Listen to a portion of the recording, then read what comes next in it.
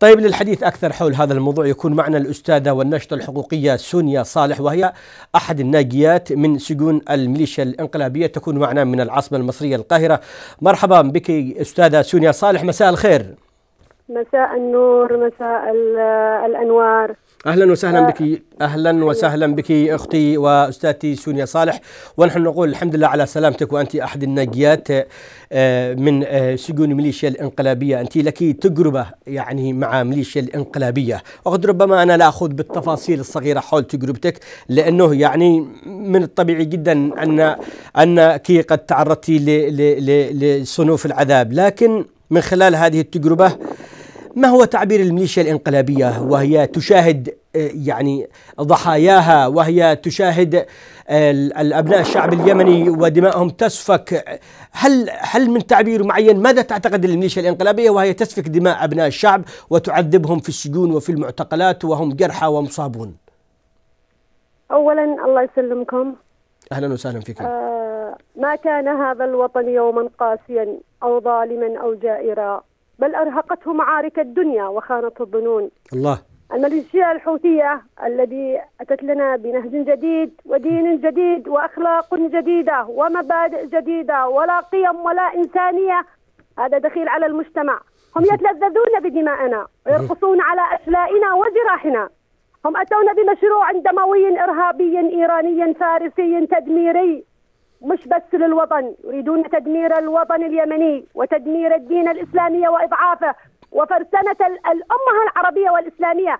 هذا المشروع المسكر في اليمن المسكر في لبنان المسكر في العراق المسكر في سوريا. هو بمشروع كبير تحت تحت جناح إيران وبلاد الفرس لفرسنة الأمة العربية.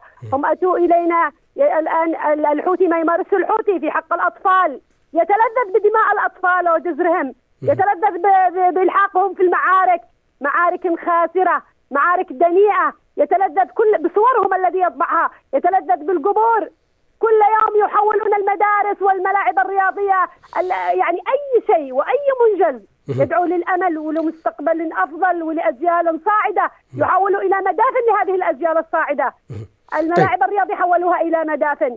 فجروا المساجد. فجروا البيوت. فجر يعني أيضا النساء اخذوا النساء إلى السجون وإلى المعتقلات اركعوا القبيلة. طيب. اركعوا القبيلة اليمنية حتى المشايخ اذلوا المشايخ واذلوا الفرد واذلوا تناقض كبير يحصل الآن في المجتمع. فككوا المجتمع الميليشيا طيب. الحوثية فككت المجتمع. طيب. وهي الآن ترقص على جراحنا وعلى دماءنا وتعبث بوطننا وتحكمنا إيران. تحكمنا إيران من داخل صنعاء. طيب طيب أستاذة سونيا يعني هو أمس يعني عطفا على ما أنت تكلمتي كمان إنه الميليشيا الانقلابية حولت الكلية أو الجامعة في الجوف إلى معرض لقتلاها، طيب هل الميليشيا الانقلابية تعتبر الأبرياء هدفا يعني جزء من اللعبة السياسية؟ مثلا هي زعلانة من موضوع عودة الحكومة يعني تبرر قتل الأبرياء مثلا أو زعلانة من حاجة اسمها يعني تحالف عربي أو شرعية أو انتصارات يعني هل الأبرياء أصبحوا هدفا لدى الميليشيا الانقلابية وجزءا من اللعبة السياسية؟ ومن متى الأبرياء ليسوا هدف من من من لعبتها السياسية القذرة؟ المرأة بريئة هدفهم الطفل هدفهم الشاب الشاب هدفهم. يعني كل شيء في هذه الوطن هدفهم. حتى الملعب ملعب رياضي في في دمار حولوه إلى مقبرة هدفهم. المسجد والكتب الدينية أحرقوها وأحرقوا المساجد هدفهم. الجامع الفردوس في صنعاء حولوا إلى سكن خاص بهم هدفهم. كل شيء يستهدفون الأرض والعرض وال وال وال وال والبشر الإنسان يستهدفون كل شيء في بلادي لا يوجد شيء ليس هدف للحوثي فكل شيء هو هدفهم. طيب. استهدافهم للحكومة هذا دليل دليل قاطع لاستيائهم مما حدث. هم كانوا يريدون أن تظل الحكومة مفرقة وأن تظل الحكومة مختلفة فيما بينها البين اختلاف الحكومة هو الذي قوى الحوثيين وهو الذي جعلهم يمدوا نفوذهم. يعني الميليشيا الإنقلابية مستفيدة من وضع اللا دولة ومستفيدة من من ربما التباينات اللي كانت في صف الشرعية. طبعا طبعا طبعا أكيد. كانت مستفيدة جدا مستفيدة جدا إن الشرعية اختلفوا أو إن الحكومة مختلفة فيما بينها البين أو يوجد هناك نقاط وخلافات فيما بينهم. فهذا يعود لصالح الحوثيين طبعا. طيب. طيب أستاذة سونيا أنت تلاحظين من خلال الاختلاط مع كثير من النخب تشعر أنه البعض يعتقد أو يهيأ له أنه الميليشيا الإنقلابية يتعاملون معه غير ما يتعاملوا مع باقي الشعب اليمني. هل الميليشيا الإنقلابية وأنت تعرفين هذا ربما أكثر مني تميز مثلا بين واحد من عدن واحد من لاحق واحد من ضالع واحد من البيضة يعني بين شمالي بين جنوبي بين صغير بين كبير مثلا أم هذا المعيار يعني وهمي؟ هذا معيار وهمي. الميليشيا الحوثية لا يوجد لديها صديق أو لا يوجد لديها أحد مش عدوها أي واحد يمني ايا كان من أي من أي مكان سواء من عدن أو من الضالع أو من ابا أو من صنعاء أو من صعد أو من أي ايا كان مكانه هو عدوها.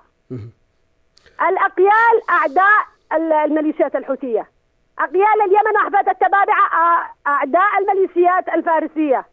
هم جاءونا الآن بمشروع ويريدون تطبيق هذا المشروع. هم جاءوا ليقتلوا الشعب اليمني بشكل عام ولا يهمهم أيا كان سواء عدني أو شمالي أو جنوبي أيا كانت جنسيته أو أيا كان وعلى الجميع. أو أيا كانت سياسيته أو أيا كان. هم أتوا ليستهدفوا الجميع إلا من نبك الصرخة وذهب ليقتل في الجبهة معهم. فهو حبيبهم. جميل. حبيبهم ولكن بحدود فأنت زنبيل ولا يمكن أن تكون يعني حب الركب حباب الركب رجعت مرة ثانية في صنعاء حباب الركب. يعني حتى وإن كنت معهم لن تتجاوز خط الزنبيل. طبعا. شكرا لك. لن تتجاوز خط الزنبيل. نعم معك معك عيسى الله إذا أول ما صار واحدة منهم قالوا له صح صح. شكرا لك. شكرا لك. كان ختامها مسك. الأستاذة سونيا صالح كانت معنا معنا من القاهرة الناشطة الحقوقية وهي الناجية من سجون الميليشيا الإنقلابية. شكرا جزيلا لك.